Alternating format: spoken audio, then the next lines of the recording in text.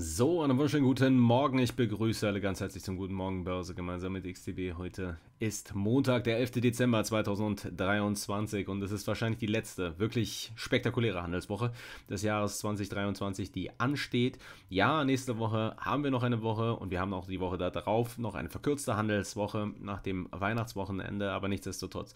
Diese Woche, da gibt es nochmal einige spannende News-Events, die es zu beachten gilt, die nochmal Volatilität sind in der Lage zu begünstigen und dann dürfte es wahrscheinlich ruhiger werden.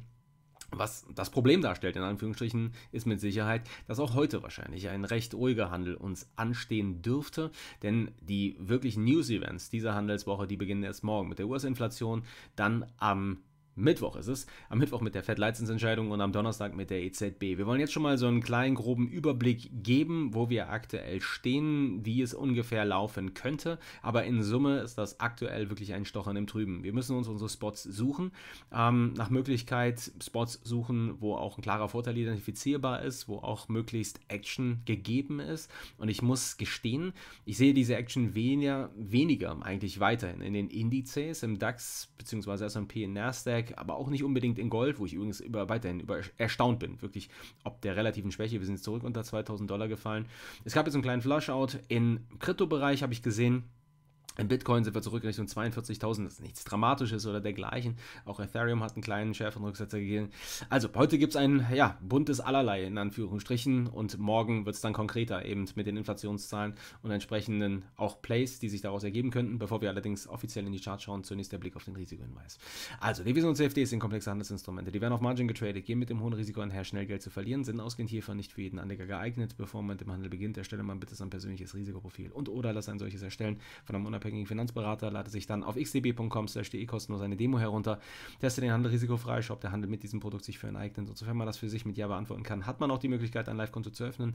Diesbezüglich alle Informationen, vollständiger Risikohinweis findet ihr auf xdb.com/de. Darüber hinaus genutzt gerne die Möglichkeit, den Kundensupport hier im Berliner Büro zu kontaktieren. Kontaktdetails folgen sogleich. Bevor wir auf diese schauen wollen, zunächst in eigener Sache bitte nichts in den folgenden Minuten als Anlageempfehlung missverstehen. Es ist alles rein edukativ, rein informativ. Ihr könnt eure Fragen stellen in der Kommentarfunktion unterhalb des Videos, aber bitte wie gesagt nichts als Anlageempfehlung missverstehen. Hier die versprochenen Kontaktdetails. Telefonnummer bzw. E-Mail-Adresse.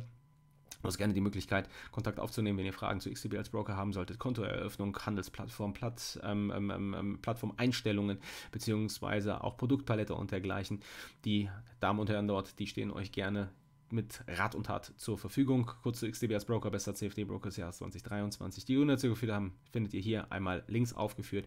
Darüber hinausgehend natürlich die X-Station, die dort ihren wesentlichen Teil dazu beigetragen haben dürfte. Und auf die wollen wir jetzt auch einen entsprechenden Blick werfen. Wir wollen beginnen, wie gesagt, mit dem DAX. Wir wollen ein buntes Allerlei ähm, uns heute mal gönnen und durch alle Märkte so ein bisschen vorab screenen und dann einfach mal schauen, ob sich irgendetwas in den kommenden, ähm, ja, in den kommenden Stunden bis Tagen ergibt. Wie gesagt, in den kommenden Tagen sicherlich, aber in den kommenden Stunden wird es ein bisschen dürftiger. Also DAX weiterhin sehr stark, super starker Aufwärtstrend, der sich seit Anfang November etabliert hat, steigende Hoch, steigende Tiefs, ähm, Aufwärtstrendkanal, der sich dahingehend ähm, fortgeschrieben hat, dass wir sogar neue Allzeithochs haben markieren können.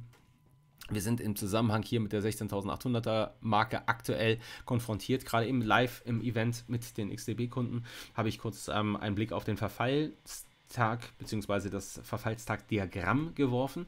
Ähm, und zwar mit dem Blick auf den großen Verfall, also den Hexensabbat, der am Freitag stattfindet. Ähm, wir haben noch einen, ich muss sagen, verhältnismäßig äh, geringen Widerstand aus der Warte, wahrscheinlich so ungefähr um 16.800 Punkte.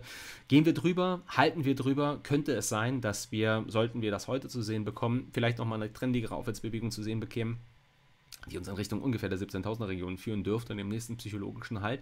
Aber wirklich Widerstände würden sich aus der Warte nicht ergeben. Sonst glaube ich, wird das ein eher choppiges, sehr unspektakuläres Treiben, was wir zu sehen bekommen. Wir kommen auch jetzt gerade rein. Also just in diesem Moment, wo ich das Event hier aufzeichne, sind wir ungefähr 20 Minuten in der Kasse ähm, drin. Wir sehen ziemlich genau das, was ich, was, ich den, was ich den Kunden von XDB sagte. Also meine Erwartungshaltung war nicht besonders hoch, ist nicht besonders hoch. Ähm, Allenfalls, wie gesagt, gehen wir über die 16 ähm, 800, könnte da vielleicht noch was gehen, aber sonst wäre ich in diesem Zusammenhang nicht wirklich ähm, optimistisch. Kurzer Flash tief, Flash ist noch nicht mal ein Flash, wirklich gesagt. Also ähm, wir sehen ein, ein, ein, ein unglaublich trä träges, dröges ähm, ähm, ähm, Driften im übertragenen Sinne. 30 Punkte, aktuelle Range 0,2 Punkte, 0,2 ähm, Prozent Punkte, die wir hier ähm, fluktuieren. Also ich würde das alles ähm, ja, als nicht sonderlich attraktiv trading-technisch eben sehen. Hier sind ungefähr die Squeeze-Hochs, die wir ausgebildet hatten. Das war am äh, Mittwoch, wenn ich mich nicht alles täuscht. Genau am 5. oder war es am Dienstag schon? Muss mal ganz kurz hier gucken. Nee, es war Mittwoch, es war, es war Nikolaus. Ähm, vielleicht um 1657 vielleicht ein Support, der sich findet, vielleicht ein kleiner Bounce, aber das ist alles klein, klein. Also das ist alles, wie gesagt, nicht sonderlich attraktiv, was sich hier weiter in den Indizes eben präsentiert. Driften seitwärts, choppige Price Action, das ist das wahrscheinlichste Szenario für den DAX. Oberhalb von 16.800, wie gesagt, vielleicht eine Absicherung, die einsetzt in einem dünnen Umfeld in die EM Inflation morgen, ganz besonders aber die FED und dann die EZB am Donnerstag, sehen wir eventuell eine Drift höher. Und ähm, ja, das wäre es eigentlich auch schon für den DAX gewesen. Ich bin mal gespannt, wie sich die US-Märkte hier präsentieren. Ähm, die haben am Freitag, also insbesondere weiter der SP, einen relativ soliden Schluss zu sehen bekommen. Ähm, Im Bereich wieder hier der Range-Begrenzung auf der Oberseite. Wir gehen vielleicht mal kurz hier auf die 30-Minuten-Ebene, da kann man diese Range wesentlich besser erkennen. Ähm, da können wir erkennen, folgend auf die Non-Farm Payrolls, die sind ähm, besser als erwartet veröffentlicht worden, aber jetzt auch nicht der Impulsgeber liefernd, den, das hatten wir schon entsprechend hier zum Thema gemacht gehabt, den man vielleicht erwartet hätte. Ähm, auch hier wartet man auf, auf frische Impulse seitens der Inflation, beziehungsweise ganz besonders seitens der FED im Hinblick auf ihre sogenannten Economic Projections, auf den Dotplot.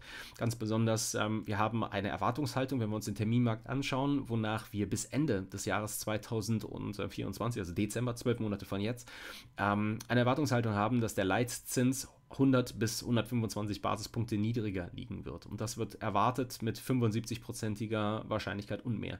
Und das wiederum ist natürlich etwas, was dann die Frage, die Frage aufwirft, wird das bestätigt sein, ist der Fett am Mittwoch oder wird es das nicht? Das ist ein Unsicherheitsfaktor, der ist gegeben vielleicht. Und der lässt dann auch jetzt bis dato jedenfalls ähm, die Volatilität sich relativ ähm, subdued darstellen oder ist ähm, dafür prädestiniert, auch morgen vielleicht sogar rund um die Inflationsveröffentlichung ähm, keine großen Impulse zu liefern, bis dann mit der FED der Impuls geliefert wird. Vielleicht sehen wir wirklich jetzt Montag, Dienstag und auch Mittwoch bis in den Abend hinein keine wirkliche Action und dann erst mit der FED den Impulsgeber und haben dann nochmal zwei Tage, in dem ein bisschen was kommt, am Donnerstag bzw. Freitag.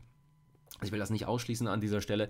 Ähm, wie gesagt, das ist das, was den Marktteilnehmer interessiert, oder das ist das, was, worum es geht im Endeffekt. Es geht weniger um die Leitzinsentscheidung als solche, da wird nichts passieren.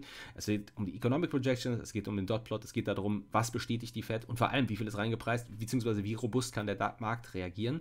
Sollten wir den Worten von Jay Powell hier ähm, ähm, Nahrung ver, ver, verabreicht sehen, so möchte man mal vielleicht sehen oder sagen, ähm, nämlich dahingehend, dass er sagte, wir sind sind weiterhin restriktiv. Wenn sich das im Dotplot widerspiegelt, dann würde das auf jeden Fall eine Diskrepanz zu dem, was der Terminmarkt eben sieht. Und das könnte eben, weil es ein nicht so laxer geldpolitischer Kurs ist, tatsächlich dann so ein bisschen den Weihnachtsgrinz spielen im übertragenen Sinne und dieser Weihnachtsrally oder diesen Push in Richtung und dann auch auf Neujahreshochs und in Richtung der Allzeithochs im S&P, beziehungsweise im Falle vom ähm, Nasdaq vielleicht den Push in Richtung schon der Allzeithochs, könnte das so ein bisschen ähm, das Weihnachtsfest verderben oder beziehungsweise eben, wie gesagt, den Grinch spielen, in dem Moment, wo wir dann einfach realisieren, okay, also ähm, das waren nicht nur Worte, die J. Paul gewählt hat, sondern das spiegelt sich auch ähm, im stimmberechtigten Spektrum seitens eben der, der, der FOMC entsprechend wieder. Aber nochmal, das müssen wir abwarten, ob es genau in diese Richtung geht und ob diese Kommunikation stattfindet. Was mich überrascht, ehrlich gesagt, beim Blick auf Gold, ist das, was wir hier präsentiert bekommen. Das ist ähm, alles andere als stark. Also ähm, müssen wir ganz klar so festhalten, die 2040 ist es nicht geworden, die haben wir nicht rausnehmen können am vergangenen Freitag. Das war meine Linie im Sand. Oberhalb hätte ich gesagt, okay, das könnte jetzt dann doch nochmal der Lauf Richtung 2100 geben. Stattdessen abgeprallt Richtung 2000 und wie gesagt, auch jetzt zum Wochenstart unterhalb dieses Niveaus. Hätte man vielleicht vor einer Woche nicht unbedingt erwartet. Da haben wir nämlich hier noch in Gefilden um 2100 Dollar. Ein bisschen drunter gehandelt, nachdem wir über Nacht ja damals in die Squeeze gegangen sind hier auf neue Allzeithochs. Das ist eine relativ schwache Vorstellung. Ich hatte schon gesagt, also eigentlich long sein in Gold möchte ich nicht, auch vor dem Hintergrund des, ähm, der Gefahr, die ich sehe, dass der Zinsmarkt ganz besonders eventuell weiter erstmal nach dem jüngsten Run auf der Oberseite, der TLT zum Beispiel, also der ETF ähm, für 20-jährige und länger laufende Bonds, ähm, dass der vor einer Korrektur steht, was zeitgleich bedeutet, dass Zinsen anziehen könnte. Das wiederum bedeutet, das wäre eher negativ für Gold. Das wiederum bedeutet, wir sollten hier erstmal uns abwarten zeigen, ob wir uns jetzt hier long positionierten, auch wenn das saisonale Fenster, welches das wir jetzt geöffnet haben, für Gold eigentlich eher positiv ist.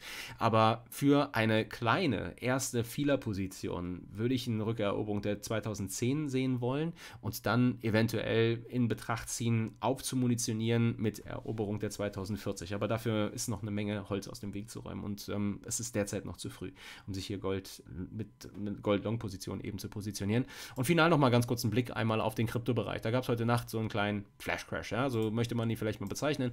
Da sehen wir es, ähm, da hat wieder irgendjemand auf den Verkaufsknopf gedrückt und da ging es, ähm, wir tri trippelten schon so tiefer und dann gab es heute Nacht so einen richtig kleinen Wash Washout, der uns Richtung 40.000 geführt hat. Nichts Dramatisches, ehrlich gesagt, oft genug passiert. Retest der ähm, übergeordneten Aufwärtstrendlinie, die halten wir, bouncen von diesem Level. Ähm, eigentlich eher ein robustes Zeichen, muss ich ganz ehrlich gestehen. Nicht, dass ich jetzt unbedingt kaufen wollte, aber nichtsdestotrotz, das ist eine, das ist eine ähm, starke Reaktion gegen diese Trendlinie, die wir haben bis dato halten können. Und hier bleiben die Vorgaben weiter ganz klar long. Aber Details in den folgenden Tagen. Wir müssen noch ein bisschen was aufbewahren, weil so viele Themen werden wir nicht mehr haben. Happy Trading. Pass auf die Stops auf.